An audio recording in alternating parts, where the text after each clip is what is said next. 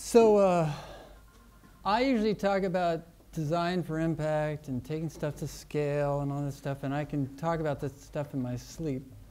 But uh, I'm kind of going off the reservation here. We're going to talk about happiness and how you can, how thinking about happiness might change the way you design um, interventions to try to have impact. And so uh, it's new. This is new to me as well, and I'm not an expert in happiness. Uh, so this, you're, you're at a jazz show here. You're not at the symphony. And, um, but this got, this got started for me when, remember back when Bhutan started talking about gross national happiness. And I didn't know what that meant and what, what does that mean for your average Bhutanese. And um, I started thinking about Mulago. And uh, look, what are we doing all this stuff for? What are we doing our health and education, livelihoods, conservation? What's it, what's it for if not happiness? And how does thinking about happiness as this meta mission uh, change what you do? Because if we're not creating happiness, why are, why are we bothering with this stuff? And then you start thinking about it though, and there is this relationship between happiness and impact. Impact tends to make people happier, if they're happier, they tend to participate in the activities more enthusiastically that create impact. So you get in this lovely positive feedback loop between your effectiveness and your happiness. So I sit up on my roof in San Francisco and I read this stuff because I got really curious about how we can take happiness and help it shape our portfolio and what we do at Mulago. So the things that have been really useful to read are evolutionary psychology, social psychology, plain vanilla psychology, behavioral economics, some kind of game theory for dummies. Uh, and then there's this whole happiness literature that's emerged kind of its own thing. And that stuff's really interesting. And there are these annual surveys all over the world that ask people how satisfied they are with their life and, and essentially how their day go. And that's, that stuff is flawed and it's utterly fascinating. And so we're going to go a little tour, but before we do, the thing that helps you understand happiness more than anything else is to realize that 99% of our evolutionary history was spent in small bands of 12 to 24 people on the African savannah, where we were really dependent on each other the way we related was through sort of reciprocal altruism, the way that all higher mammals relate, which is a relationship where I do things for you, expecting things to you to do things for me, and we maintain that relationship over time. So long-term relationships where people needed to help each other survive and do things for each other. And it's, it's always interesting to me, if you think about it that way, almost everything we do makes sense. Especially since in a small group, your status really makes a big difference. And humans care more about status than almost anything else. So, as almost a warm up, let's take a run through the, the world data on happiness. It's kind of a way of stretching and warming up for thinking more deeply about happiness. So, it's kind of a whirlwind tour you can't always make generalizations about it, but it gives you a lot of insights about what's happening in the world and how you might think about happiness. So there's two ways that people think, ask about happiness. The first is affect, emotion. What is people's ex emotional experience of happiness? And the standard way that they come to do this is they ask people about yesterday, five questions. Did you enjoy yourself yesterday? Did you laugh or smile a lot? Did you feel respected? Were you rested? And did you do something or learn something interesting? Which is a really, that's a fascinating set of questions. It kind of nails it. Like, that's a good day. So when you look at the, did you have a great day yesterday survey, what you get is this. Number one, Paraguay. Number two, Panama. Number three, Guatemala. Number four, Nicaragua. Nicaragua is, after Haiti, the poorest country in the Western Hemisphere. Ecuador, Costa Rica, Colombia, Denmark, Honduras, El Salvador. So obviously move to Latin America. There is though when you when you when you when you read psychologists talking about Latin America, there is a culture of positivity there. And I just had dinner last night with a guy from Peru, and he said, "Yeah, my I call my relatives on the phone. They say everything's great." And then I find out from the other cousin that they're in mid divorce, they're going bankrupt. There is just, culture plays a big role in interpreting the world. And so you look at who had a lousy day yesterday Syria. This is 2013 data, lowest score on this ever. 36% of people had a decent day yesterday. The rest of them, it sucked. Lowest score ever. Chad, Lithuania, Bosnia, Serbia, Nepal, Yemen. These guys all have lousy days. Lebanon and Tunisia. So if you look at that, you notice, first of all, don't go to a former Soviet country to live. The second is they've all had recent conflict. Or the other ones, they're either economically stagnant or they've had recent conflict. Now, that's affect, and it's just so much more uh, labile that the question that people take a lot more seriously is life satisfaction. Are you satisfied with your life? And the standard is this Cantril scale of 1 to 10. They call it the happiness ladder. So they ask that, Gallup asks that all over the world in uh, 180 countries every year. And they've been doing it for a long time. And so you can get a really good idea of what's happening. I'm using 2009 data. This, there's, there's a World Happiness Report that the Earth Institute just put out for 2013, and it's fascinating reading, reading. But I'll, I'll explain in a minute why I chose 2009.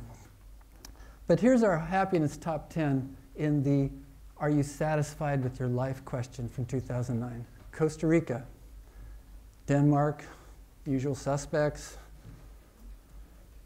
and then Mexico and then Canada, Sweden, Panama.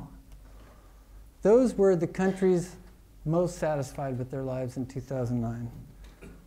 The bottom 10 Togo, Zimbabwe, Benin, Sierra Leone, Madagascar, Mozambique, Haiti, Ethiopia, Liberia, and Afghanistan. You can all, I'm sure you're thinking about what you know about those countries and what that tells us about the trends. Notice Togo. Togo is always there.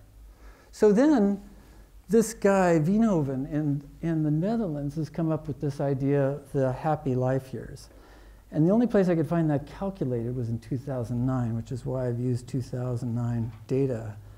But so this is the analog of, you've all heard of disability adjusted life years. This is happiness adjusted life years. So where are people spending the most of their life happy? So this looks just like the happiness list, except Ireland popped up because those guys live so long. And the bottom unhappiness life years, these are all places, for the most part, where life is short. It's not very happy and it's short. And they're the HIV countries by and large. So I got interested in if you take that out, so it, it skews it that, that you know, it's all over Sub-Saharan Africa, you've got average life expectancy of like 40. So if we remove that and say of the countries where people are living longer than 55 years, who's on that list and what does that tell us? And suddenly the whole character of the list changes. And you've got all these, again, countries in conflict or former Soviet countries that are economically stagnant. So then I invented a, a new category which is taking the happiness life years and looking at what percentage of people's expected lifespan they're happy. Costa Rica at the top of the list. They're the most they're spending the most time stoked of anybody in the world. And again, suddenly somebody from Latin America bubbles back up. Now this is the least stoked. So if we go back to the most stoked, the, the number for Costa Rica is 86% of the time. 86% of your life, pretty darn good. Togo, 26% of your life, pretty good. So these are the countries where people are, are spending way too much time unhappy. And then I thought, well, what if we calculated the places where people are spending the most time unstoked? Spending, this is where, where's the global burden of long term unhappiness? And suddenly, there's Togo again. And then you get these countries, Bulgaria, Macedonia, each of which kind of has its own story that might explain. But they're places where people live longer and less happy. They're mostly either there's conflict or they're economically stagnant.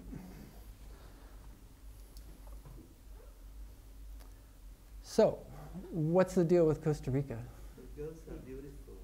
It's beautiful. Perfect. Let me, let me set some more, and anybody can tell me any more you can think of. Okay, same life expectancy. What's that? I don't think they have an army. Good. What else? Universal peace for a long time in the midst of a conflicted place. Democracy. Education, democracy, Great music. great music, not a small thing. 50-year environmental plan. 50 year environmental plan. Huh? Thank you. Forests that are growing. Best environmental record of almost any country on earth. Community. Strong community, and that is what a lot of people say is a big part of that Latin American contingent as a whole. What's that? Yeah, we, we said that, and it should be emphasized. So, uh, what's that? Inequality, small inequality gaps. You know, in the Gini coefficient, they're at about 50. They're just right in the middle. So, and interestingly, the Gini coefficient does not really track with happiness. It tracks in an individual country's happiness. Like there's a great study showing that as the Gini coefficient changes in the US, happiness has changed.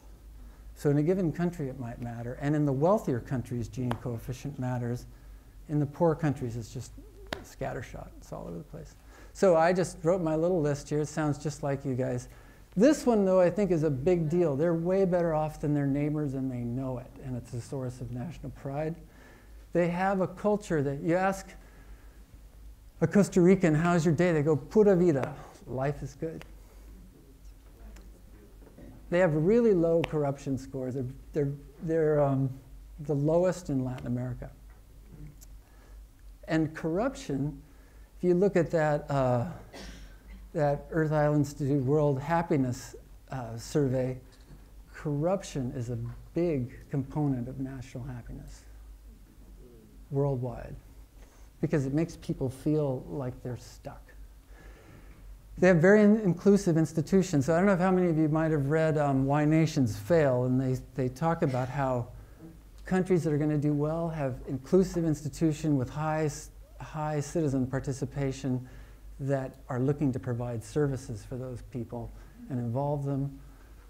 Countries that are going to fail have extractive institutions where the elites have captured the, the mechanisms of power and ex- extracting rents. Inclusive institutions. Steady growth, not spectacular any one year, but steady 5%. Only dipped in like 2009, below 1%, and then went back up. Very tolerant culture. Gay rights, uh, tolerant of, of uh, ethnicity. That tracks really well worldwide with happiness.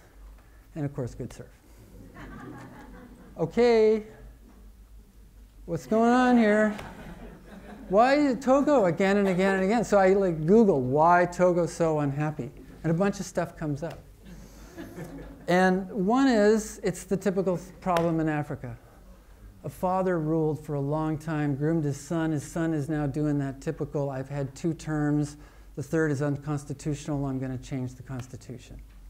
Singapore. Huh? Singapore, I didn't do. What, what interesting thing I read about Singapore. Singapore's not all that happy, by the way, just for the record. They're pretty, pretty low on this record. You can hold forth on Singapore when we're done, though. Hold that thought. Um, they have terrible infrastructure. Everything's a hassle there. They, you know, this is a long strip of a country, about about six times as long as it is wide, and there's not a decent road going that distance. This I heard again and again, uh, an exact opposite of the pura vida culture of Costa Rica. People like to kvetch in Togo. It's.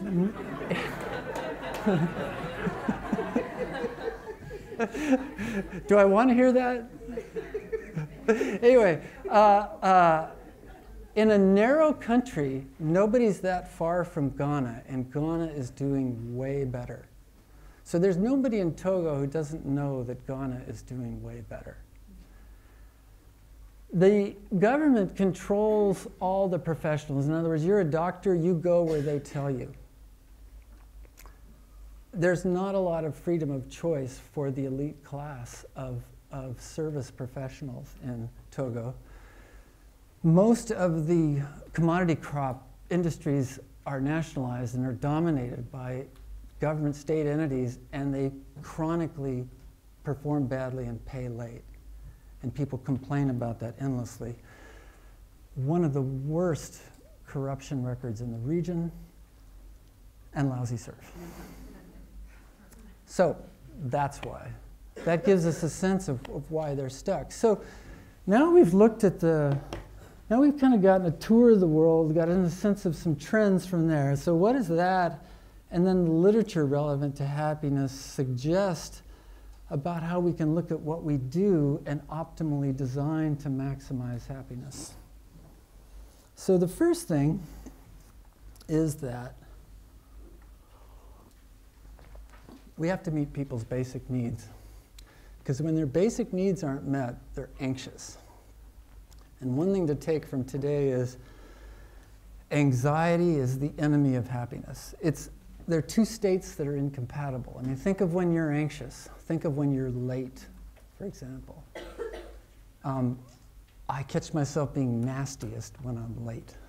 I get anxious when I'm late, um, especially if I care about where I'm going. But anxiety and happiness are incompatible. You're anxious unless your basic needs are met safety, water, food, shelter, energy increasingly everywhere income. You're anxious if your basic needs aren't met. So that tells us what our priorities are in terms of missions. We have to meet those basic needs. Now, here's an example of an organization that I think is, is meeting basic needs in a really important, interesting way. So, people are talking more and more, and this, this um, Earth Institute World Report on Happiness talked about this a lot. We have to think about mental illness and mental health as a basic need. So it turns out that depression is the number one cause of disability, disability worldwide, and it's quite treatable. So Mulago has long been looking for a really good, scalable mental health uh, intervention. And we came upon this organization, Strong Minds, a new organization.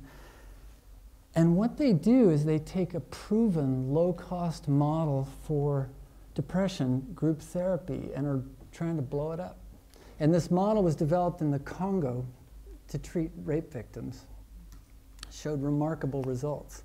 And it's a group therapy model where a trained layperson comes and runs weekly sessions with a group of women for 16 weeks the results in the Congo were really strong, and then nobody did anything with it.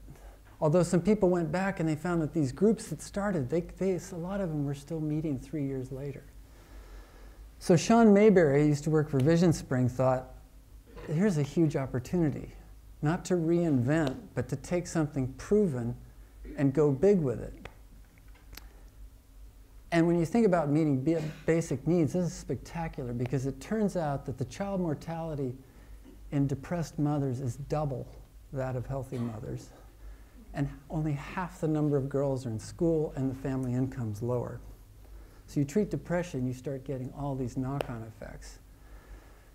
So, Sean, they just finished their first 16 uh, week trial, and compared to their controls, their, their treatment group, showed a 93% remission of major depression symptoms. So they're in remission from this disease now, compared to 30% in the control group. So they got a 60 percentage point effect.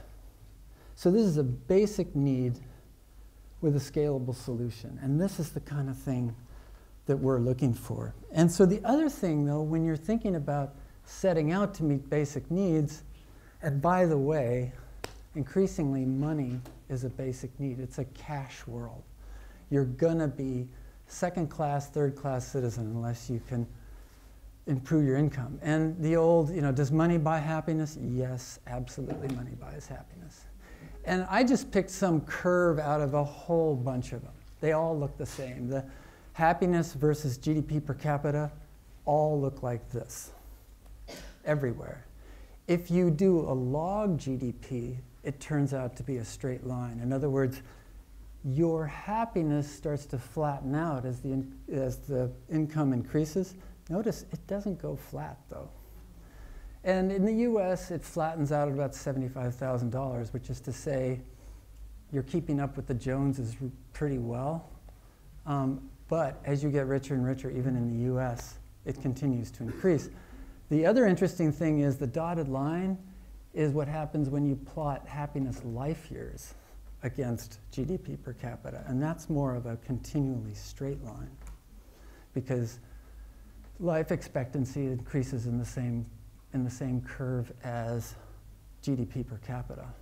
And the, but then notice, if you want income to make a huge effect on people's happiness, work with the poor because any given amount of income at that end of the curve has a huge disproportionate income, impact. And I make the case you know, just that much more strongly for impact. If, if you've run into a book called Scarcity by uh, Mullainathan and uh, oh, one of those other Poverty Action Lab Mafia authors, um, they talk about something really interesting called the bandwidth tax.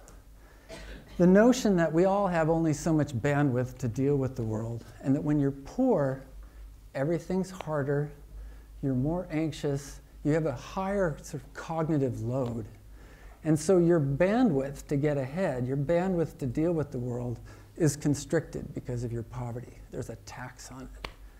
Um, excuse me. That bandwidth tax is part of what gets people stuck. Income helps fix that bandwidth tax. Another thing is when you have money, you have choices.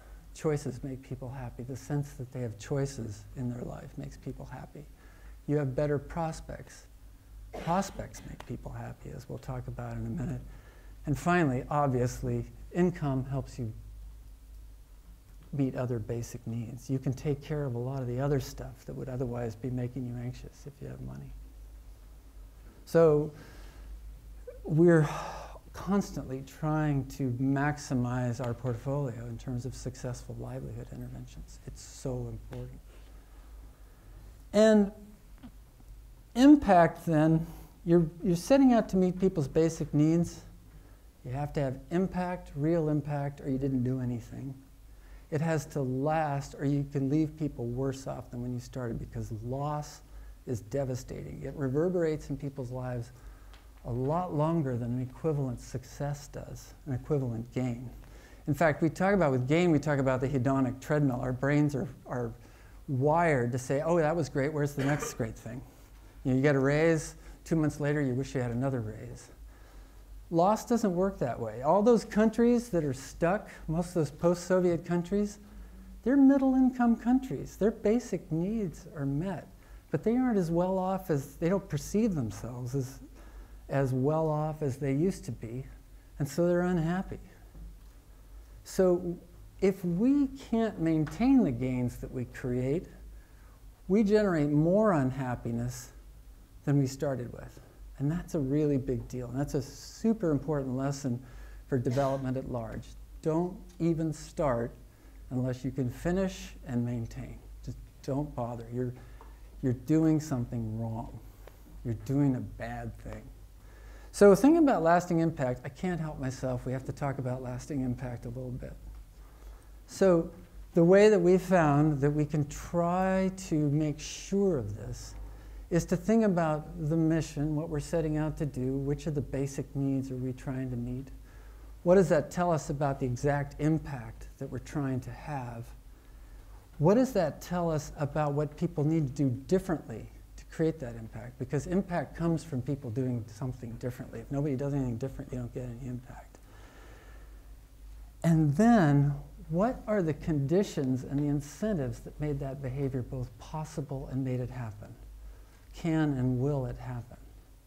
And looking at those is when you can look at them critically and say, can we maintain the conditions that made that behavior possible? And are the incentives there so that it will last? If we're paying people to do something, can we pay them forever? If we're creating the conditions so that farmers, say, can take things to market, can we make sure that that market is always there? Can we look systematically at the conditions and the incentives that drove the behaviors that created impact that fulfills our mission? And if we can't, we shouldn't do it. And of course, I have to say then, the only way you're going to know that is if you measure, and the only way you're going to get better at it is if you iterate. And again, I can't help myself. We've got to talk about measurement for a second measuring is so important to happiness because we don't know if we're having the impact that can make people happy unless we measure for it. And measurement doesn't have to be that hard, but it has to be rigorous. You need to know what you're setting out to do. You need to figure out what the right thing is to measure, what that impact is supposed to be, at least the most, the just one thing, the most important thing to measure. You have to get good quality numbers and you have to make sure it was you because your impact in the world is the difference between what happened with you and what would have happened without you. And we have to measure. Our responsibility is to measure. We can't know if we've made the impact that can create happiness unless we measure for it. So, the next big thing after meeting basic needs and relieving anxiety is prospects. It turns out that it's a real universal that when people think there's a better future ahead for them and their kids, they are consistently happier. And it has to do with perception more than a reality. People have to believe their life's going to be better. It's created by momentum. So the countries with little momentum where they're stuck are often the ones that are unhappiness. They don't have, they don't see themselves as having prospects. And the consistency of progress is more important than the slope of the curve, the steepness of the curve. And I'll show you that, I'll show you what I mean by that curve in a second. So slow, steady progress is more important to happiness than rapid progress that can't be maintained when people feel like they're investing in their future, it makes them happy. Just like it does when you plan a long time for a trip. You spend your money ahead of time, you plan for a trip. Investing in the future makes people feel optimistic about it. It makes them feel, um, anticipate that their lives are going to be better. And finally, products and services that are aspirational make people feel like they're participating in a future that's going to be better.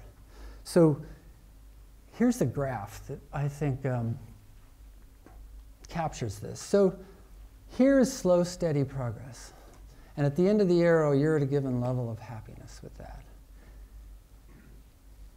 Rapid progress here and then stagnation. Even though the impact is higher at the end of that, the happiness tends to be less because they lost their momentum and they don't perceive as life is getting better. They're stuck. Even though they're maybe, they may be richer at this point, it happened fast and then it stagnated. Here, they're still better off than they were at the beginning. They're more unhappy. And you see this again and again. Whenever progress is lost, people end up less happy than they started, even though they're materially better off. The curve of your impact is super important. So, a few things that, that in, from our portfolio and others that um, really seem to matter.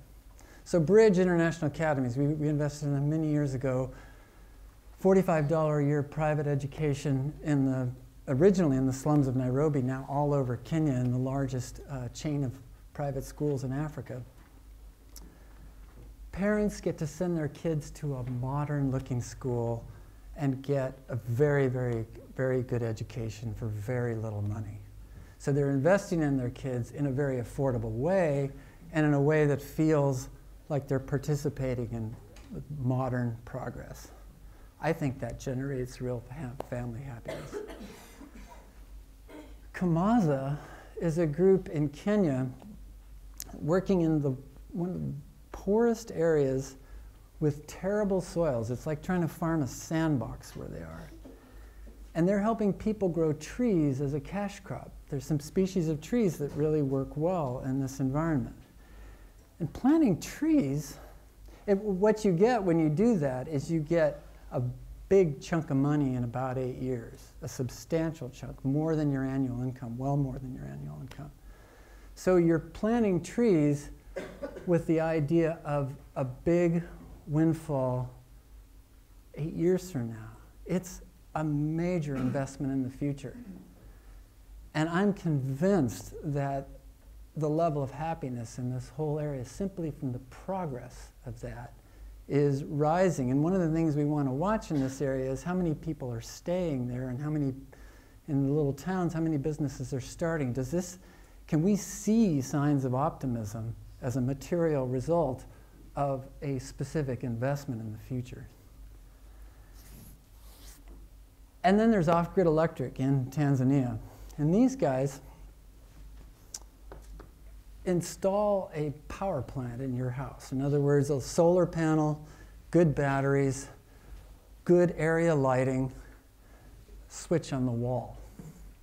More, better than you could ever afford. And there's a meter, and you buy the power to run your system. So they own the system. You get the power. You get to flip a switch like modern people do. You don't have to do some janky thing with the the fixture itself. It's not a little light sitting on the table. It's flip a switch, flood your house with light. It's, a, it's something we love at Mulago, which is giving the best to poor people and not just the crappy thing that they could afford. It's aspirational, though.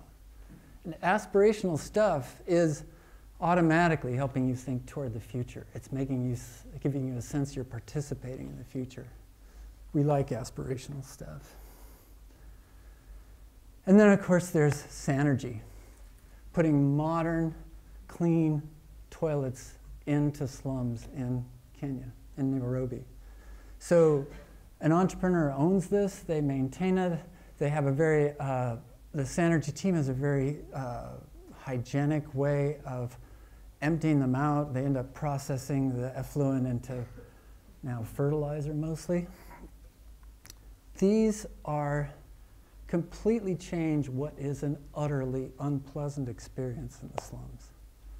These are the future. These are a better quality experience that communicates uh, a better life and a more modern life. And I went into these um, just a couple weeks ago. I went into these sort of uh, corrugated tin and wooden pole apartment buildings, like 25 units in the middle of the slum.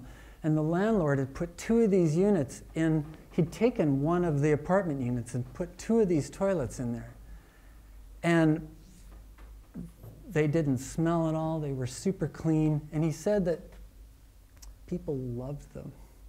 He said it's completely uh, changed his turnover rates because people want to stay and live in his apartment building. And he was stoked because turnover is, is a real drag for any landlord. It, he said it made his whole apartment complex seem more desirable. Again, great high quality services for poor people that are aspirational and feel modern. We care deeply about status. It's especially bad behavior. Whenever you see bad, especially male behavior, you can assume status is at play. And that, we are very concerned that we keep up with our peer group. And it's really about our peer group more than it is national. In other words, poor people can watch TV and see absurdly rich people on TV, and they seem not to be as affected by it as you might think. What they care about is who's next to them. And there's a lot of data showing that people who live in slums are generally happier than people who are upper middle class but live in upper class neighborhoods. And there's this really interesting study showing that again and again, people would prefer to have a $90,000 salary when others are getting $70,000 than a $100,000 salary when others are getting 125. And I'm going to show you how deeply embedded this is in us, down in our brain stems. With uh, an experiment, this guy, Frans de Waal, is a primatologist, and he was interested in looking at fairness. And do animals other than humans care about fairness, and could you see it? So, with these capuchin monkeys, he set up this experiment where the monkeys have rocks in their cages. They're supposed to hand a rock to the experimenter and get rewarded. Now, capuchin monkeys like cucumbers, they like grapes a lot more. So the two choices to give them in reward for the rock are cucumber or grape. So watch what happens. Getting grape, and you will see what happens. So she gives a rock to us, that's the task and we give her a piece of cucumber and she eats it. The other one needs to give a rock to us, and that's what she does. And she gets a grape, and she eats it. The other one sees that. She gives a rock to us now, gets again cucumber.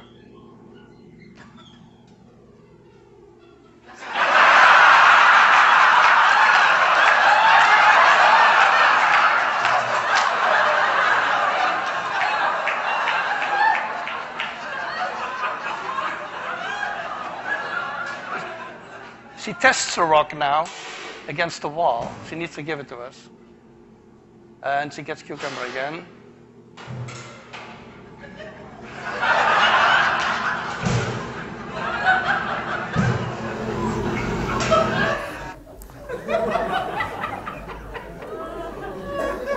So uh, they like grapes more. They do like cucumbers. I'll throw my cucumber away just to show you how pissed off I am about not getting a grape. In fact, I watched that six times last night. We're going to watch it again because I just love this. Getting grape, and you will see what happens. So she gives a rock to us, that's the task. And we give her a piece of cucumber and she eats it. The other one needs to give a rock to us. And that's what she does. And she gets a grape. And she. The other one sees that. She gives a rock to us now, gets again cucumber.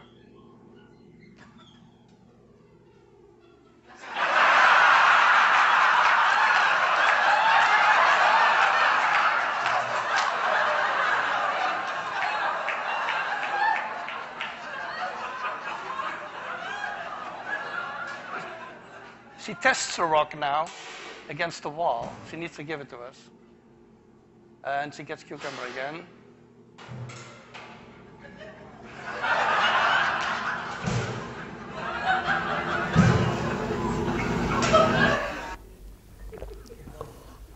So, a perception of unfairness can derail your work faster than anything else I can think of. And that's one reason why there are certain times in which giveaways make sense. I think, I think the case has been made for mosquito nets, although then they end up being fishing nets apparently. But giveaways are often just unfair. Like, why does one group get something for free that another group doesn't? And bringing people up together is just hugely important to, to not generate, really not generate unhappiness. And so we think about organizations that reach down to the bottom and bring the bottom up first. And you know, Water for People, this is, a, this is a work in progress trying to get everyone, but I just love this slogan. everyone forever. I think it should be uh, our slogan for every organization that we start and every organization that we fund. It should be everyone forever. And that's gotten us thinking a lot about what we're calling the impact jackpot. Who needs the intervention the most? Who needs the help the most and is going to benefit the most from it? If you look at the water sector, there's some, there are some great private sector solutions out there. We've not been that crazy about them because they don't get everybody. You ask almost every single one, they have a tremendous impact. A lot of people get clean water who didn't otherwise, but I have yet to see one where you said, well, where are the poorest getting their water? They're not buying it. I, I ran across a, a JPAL study years ago where, incidentally, they, they, they mentioned how puzzled they were that poor people would pay for water quantity when they couldn't otherwise get water, but they wouldn't pay for quality. They didn't see themselves as being able to afford to pay that extra for clean water. So the thing about the impact jackpot, though, is if you reach down and bring those at the bottom up, you get everybody else. You make the poorest kids healthier, everybody else gets healthier. You get clean water to the poorest people, you get clean water to everybody. You get good education to the poor, you can get education to everybody. If you shoot for the lower middle class hoping you'll go down, what we've found is you rarely do it. So go for the impact jackpot. It's where your money goes the furthest. And I've often found that when you go to the most desperate places, it's where a relatively small investment can yield the biggest results in terms of impact. So this is some this is something that I've thinking, been thinking about a lot that I think is is going to shape our work more and more is thinking about for any sector we get involved in, where is the jackpot and how can we invest our money and score big?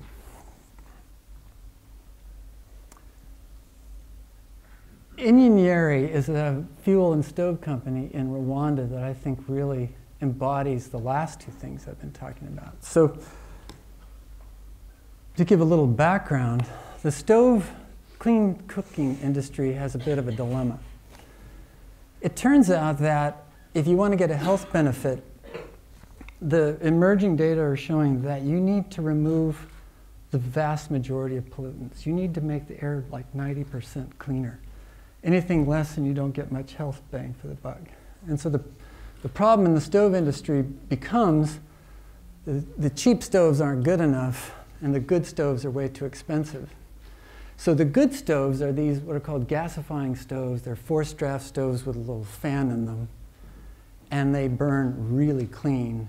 And they're about 80 bucks. And no poor person is ever, ever, ever going to buy one. So how do you get them to people? It's the only way to get the health benefit. So Eric Reynolds is this entrepreneur. He started uh, Marmot, the clothing company, and now he's in Rwanda trying to get clean cook stoves to people. And what they do is they essentially give them away. They, they uh, charge a, a, a rental fee, a lease fee of $7 a year, but that lease comes with a contract to buy their pellets. And their pellets cost a little bit less than charcoal. And so you have this very aspirational product that's now accessible to a lot of people. This is a totally different experience. You sit in a room with that thing going right here, and you're sitting around talking, and you're totally comfortable. And there's no visible smoke in the room. It's a totally different experience.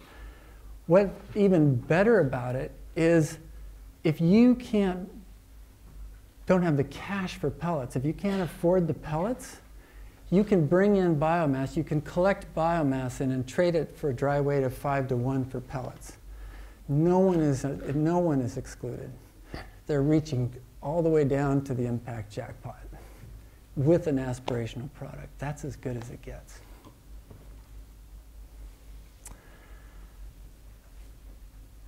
One Acre Fund and organizations like Nuru working with the poorest farmers are, work, are reaching way down into the impact jackpot. The average farm size in Africa right now is 0.6 hectares.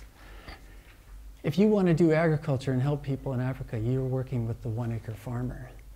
And both the organizations I mentioned are trying to figure out how to get deeper and deeper into that population because it turns out that everybody's a farmer in these settings. Not everybody wants to be or is that good at being a farmer.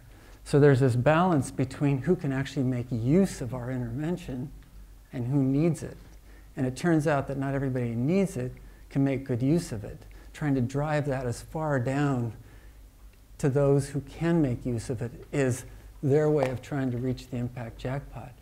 But the impact you're trying to have is money. And money creates all the good things that we talked about. So it's important that they keep trying. This is one of the toughest things has been trying to get poor people. Poor farmers are the most conservative people on earth. They can't afford to take any risks. And you have to be really careful with what you do for them because you leave these guys worse off and they're hanging on by their fingernails. So, can you create an intervention that's so high impact that you can confidently sell it to them? And how do you sell it to them? It's really hard. And so, selling your intervention to them turns out to be the only way to the impact jackpot. Okay, this is a, this is a technical term. So we got we got our meet basic needs, prospects, keeping up with the Joneses. Zero sumness is sort of this game from from game theory for dummies, and it's the idea that there are zero sum interactions where I win, you lose, and there are non zero sum interactions where we both get something out of it. Non zero sum interactions are that reciprocal altruism that, that, that really formed most of our social circuitry back in the days when we were running around on the savannah. There's a brilliant book called uh, Non Zero, written by a guy named Robert Wright, and he talks about how this is so this is fundamentally embedded in us, and you can see looking at, at human history through a lens of non-zero sumness is civilization is the process of building more and more non-zero sumness into our institutions and our political systems and our commercial systems. And trade is the fundamental non-zero sum interaction. I give you what you want, money, you give me that thing, that iPad that I really wanted. And so the more we can build that in, the more comfortable and happy people are, and the more likely we're going to make progress. So that is about creating strong relationships and bonds. Goes back to that family bonds thing that seems to make Latin America so happy. It's about creating more trust, and trust is really the lubricant of development.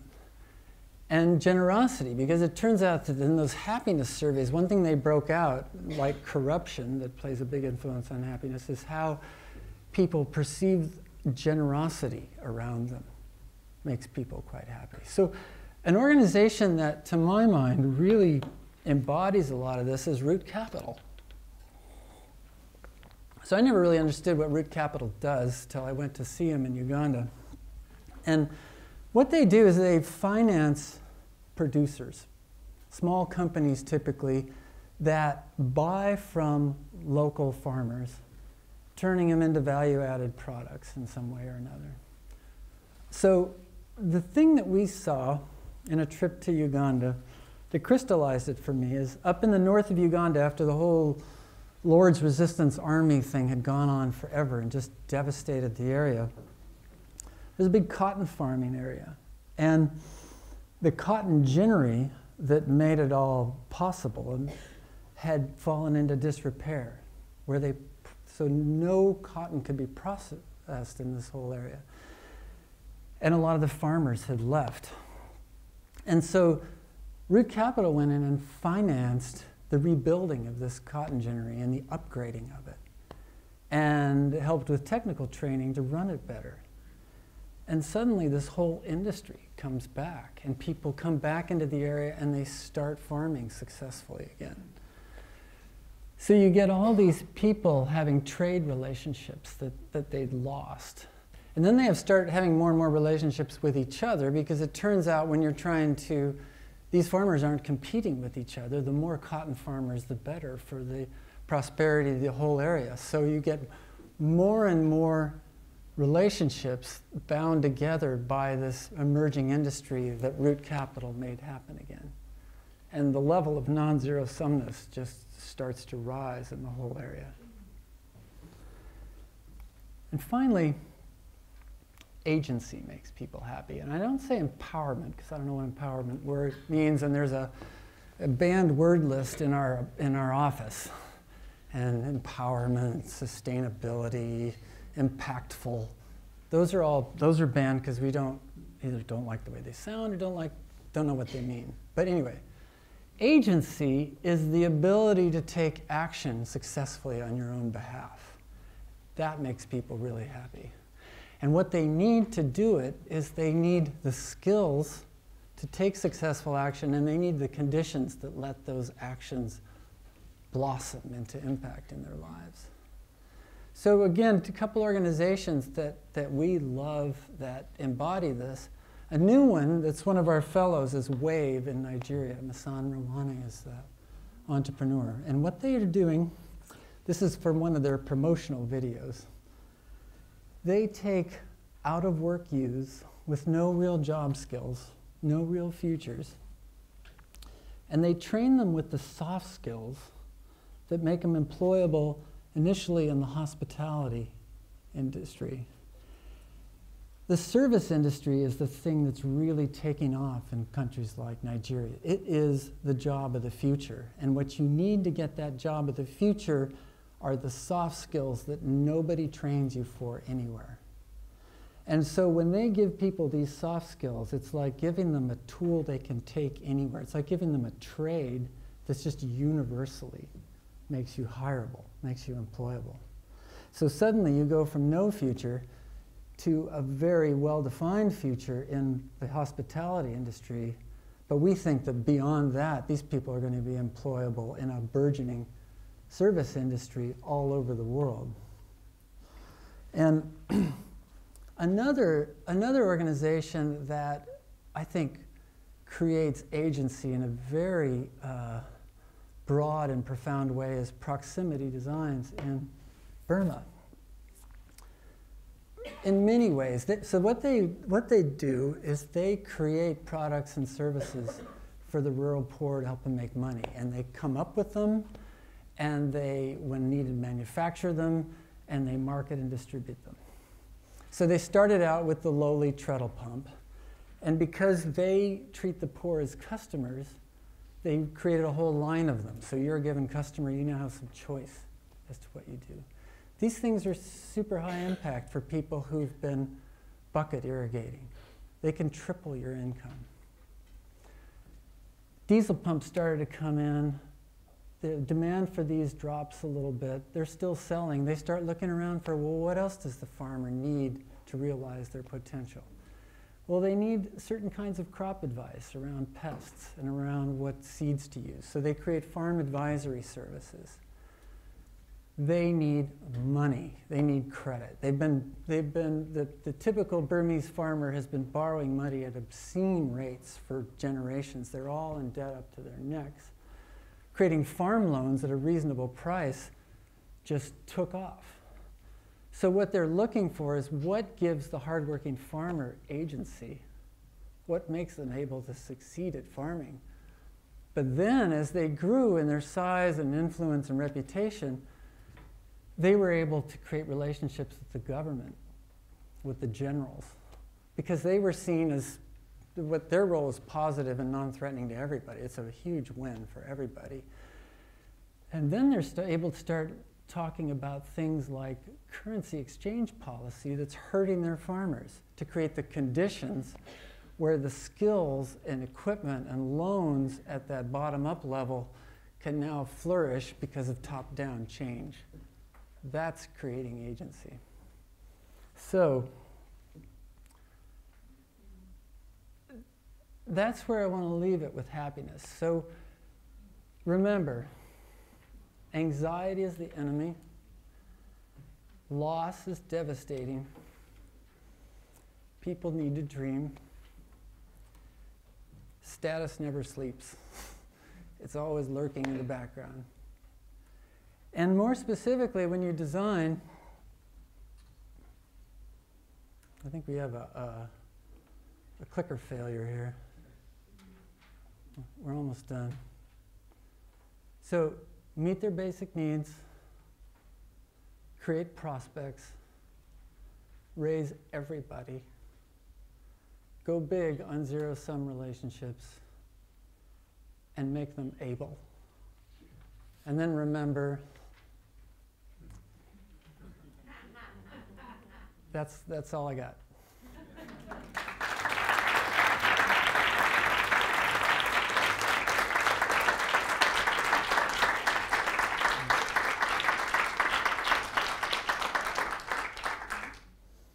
So we got we got some time to, to get your your thoughts on how do you design for more happiness, and in fact, anything you want to weigh in on, because um, there's probably a huge amount of expertise in this room that we haven't even begun to tap. And I'm curious what, what, what you're all thinking about happiness and how we maximize it. Go ahead. So um, in India, people are openly that. In in. Hello. Yeah, my name is Jack Sim from the World Toilet Organization. So in India, people who get toilet for free are openly defecating and using it as storerooms. So I want to reposition the toilet from dark, dirty, and smelly into the happiest room in India. Because people are happier after they go to the toilet. So it's very clear. So can you advise me what would be uh, good triggers? Um, I want to say that the, the word uh, that I'm, I'm from proximity and uh, from Burma, the word toilet in Burmese means Inda, and Inda literally means it's the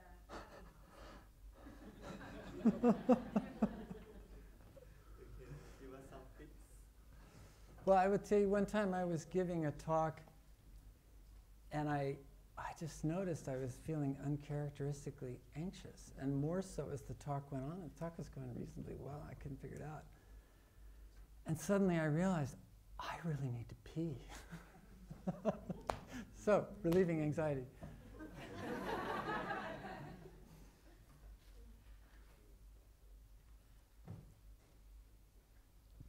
I'm, uh, hi, I'm Janet Longmore from uh, Digital Opportunity Trust.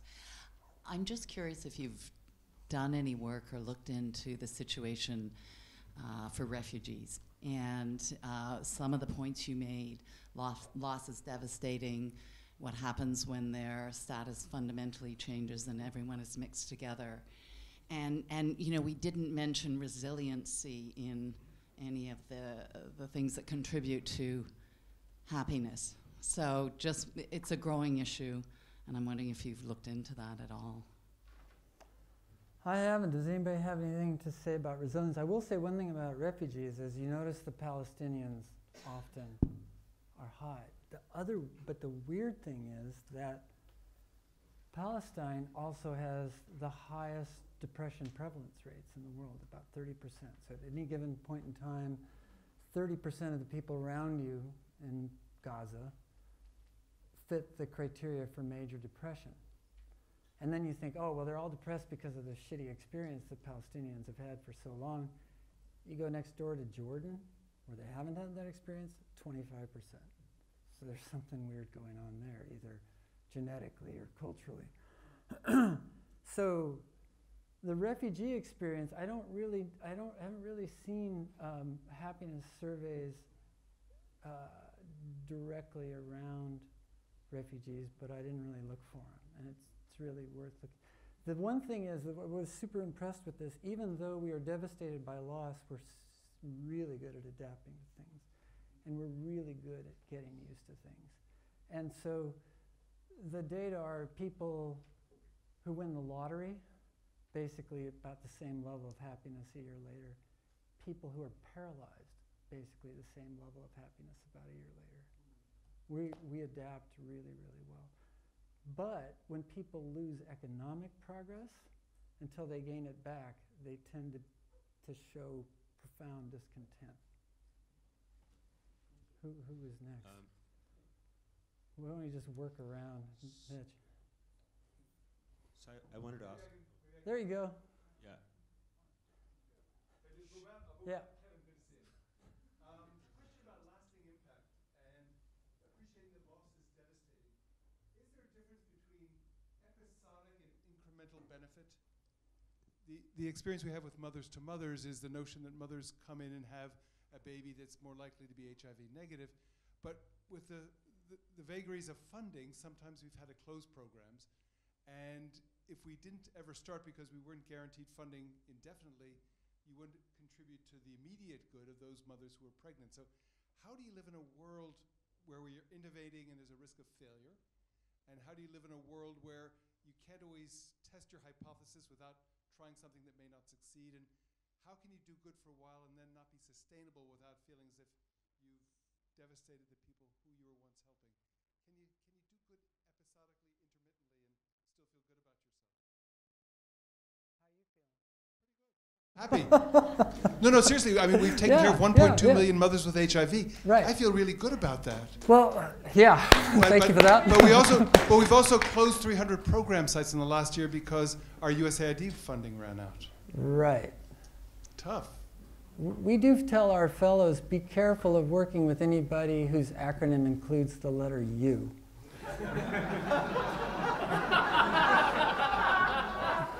but I, I will say, though, if you think about the individual who participated, their effect is lasting.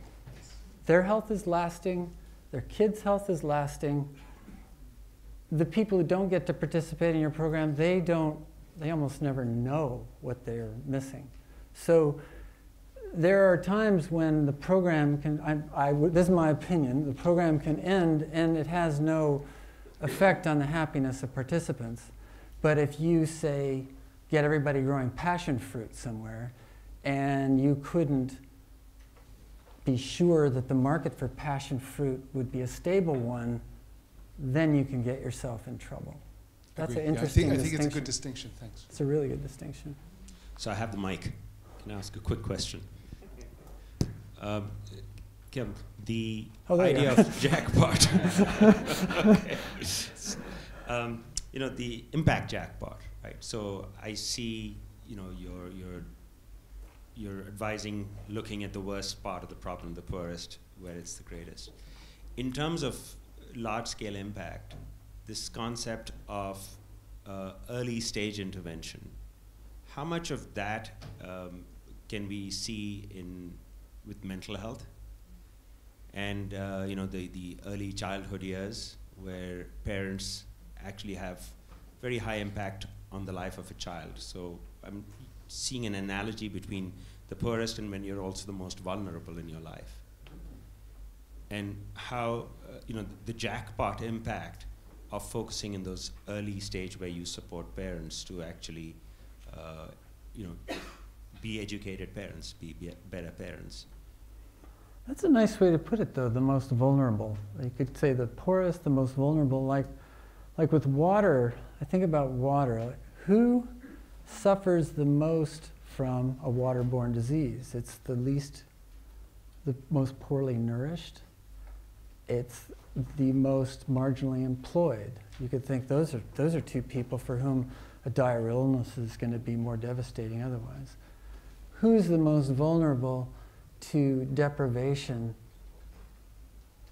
I would argue that it's really early uh, kids in early development. We know more every week, it seems like, about the importance of micronutrients for virtually everything that happens to them later.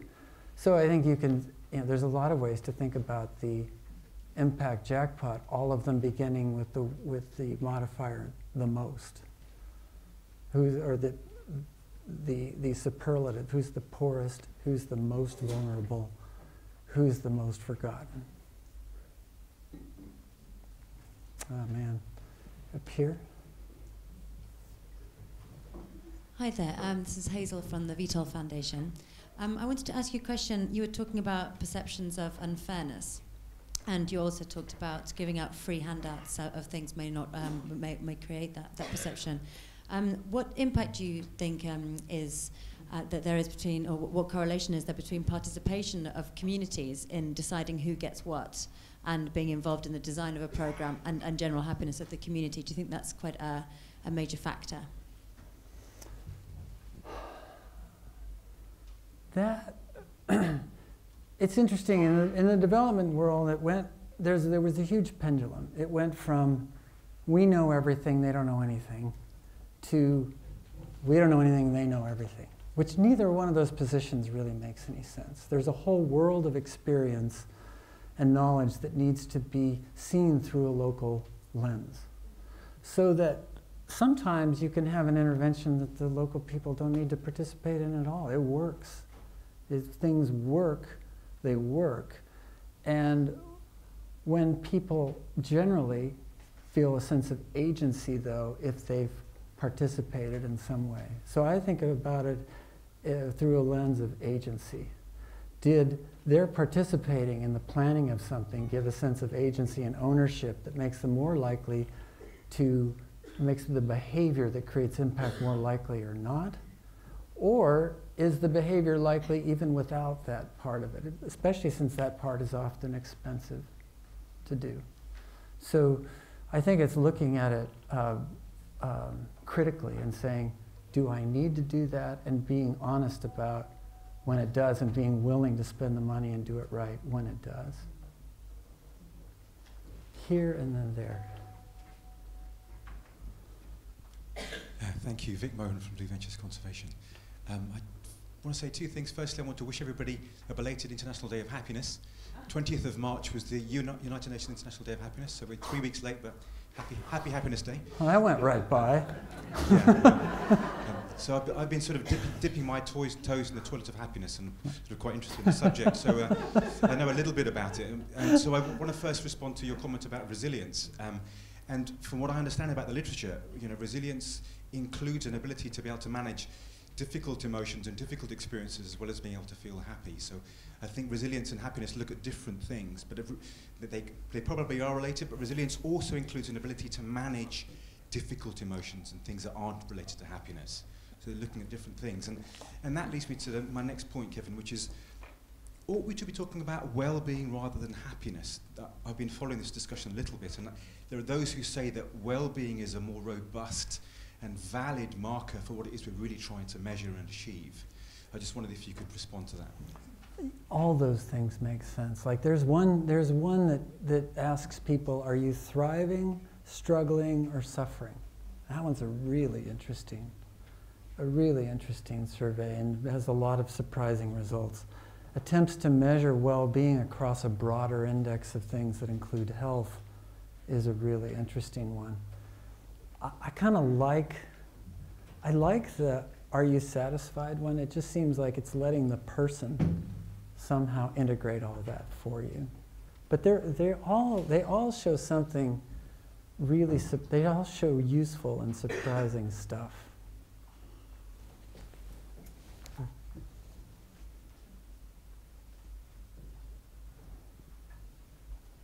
Uh, my name is Sonali Khan, and I'm from an organization called Breakthrough in India. And interestingly, India was absent from your you know, list of countries on most accounts, so I was curious. Uh, there was every other country there, happy, unhappy, etc. But yeah, that's it. Uh, actually, I was a little curious, and I was thinking about what I sort of in my head started calling the happiness theory.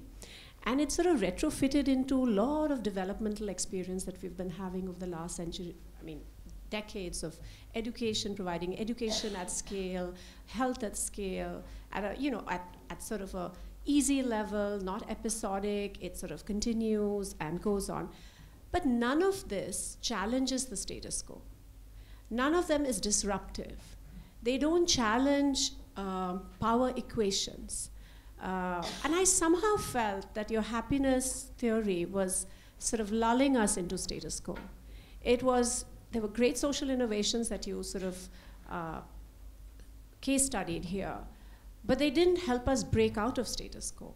So I'd love to hear from you if in your research they were sort of examples that may have made tectonic shifts on status quo and happiness that got redefined for people, not, not from uh, stoves that we lit in our rooms or water pumps that we sort of irrigated our uh, farms with, but defined how, as citizens, we participated in decision making, determined the way the country's future uh, was going to be um, led. So I'd love to hear about that a bit. It was just, I, I mean, maybe you have the answers. It's just. Good luck with that. Yeah, with Um, happiness theory, everything is possible. I mean, I just have to say first, I'm not a researcher on happiness. I read some books and thought about it, and so and inflicted it on you. But um, I don't know about disruptive change and stuff. I know about impact, and I know that impact makes people happy, and so I think a lot about impact at scale. And we do know that, and I think about choice, and I think about freedom, and I think about corruption, I think about a lot of those things. And as Mulago, we're investors. So we have to find an organization that is changing things. And when we find them, we fund them. And we fund them for as long as we're seeing the, the impact curve that we're hoping for. So I don't know the world that you're talking about all that well, but I do know that it's hard to know and find impact in that world, and we don't know how to invest without measuring impact. So while the clearly people's choice, freedom, um, their, uh, their freedom from tyranny and corruption play a big role in happiness. Meeting basic needs, as far as I can tell, plays an even bigger role. And so that's where we have focused. So I don't really know much about some of the topics you're, you're bringing up, and I think they're hugely, hugely important. What about the Indian ranking? I don't know. I'll give. I'll send you the links. You can look it up. They're they're generally somewhere in the middle. And besides India, every state's a country, so it's kind of hard to generalize about India. So let's go quickly, just sweeping around that way. And and and uh, people, if you got something else to do, go ahead and leave. It's a beautiful day out there. So, uh, uh, Tina,